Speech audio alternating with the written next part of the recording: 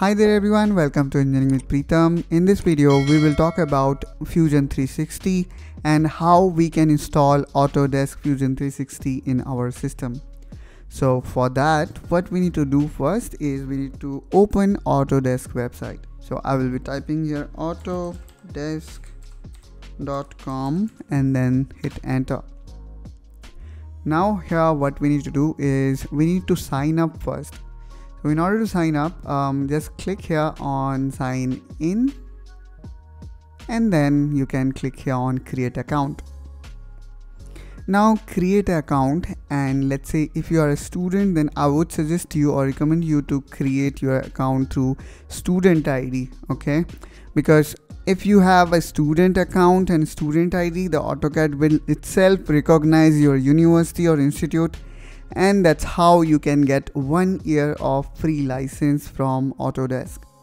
If you want to use it for commercial purpose, then in such case you can utilize any email address and Autodesk will give you 30 day of free trial.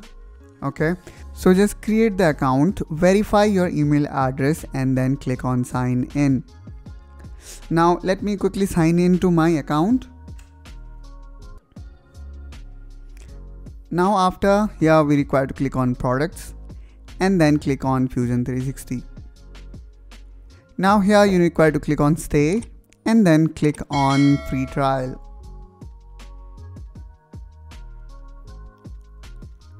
Now this will take you to this page where you need to specify for what purpose you're going to use this software. So I'm going to use it for just educational purpose. So I will be selecting education. Now let's click here on educational community and there we go. Now here since I am enrolled to a university so I can get this for one year. So now here I can see the date till my license going to be valid. Now here you require to click on get product. Now click on access and that's how guys uh, the download process gets started. Now let's click on open and now here we can see the Fusion 360 setup has started downloading the software from internet. So now we just need to wait for the installation wizard to get completed.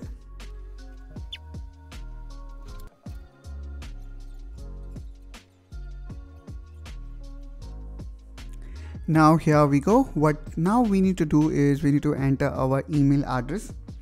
So let me put my email address there. Let me enter my password.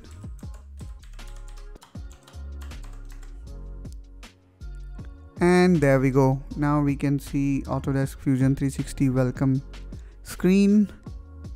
And let's see. And here I can see education license. And now um, let's click on next. So here you can create a team and now you can give your team a name. Let me just write test. And then you can click on create now let me click here on go to team. And now let's click got it. So that's how we can easily install AutoCAD Fusion 360 in our system. So this was our first video on Autodesk Fusion 360 be subscribed to our channel to see more tutorial on Autodesk Fusion 360 and I will see you soon in my next video. Till then take care and bye bye.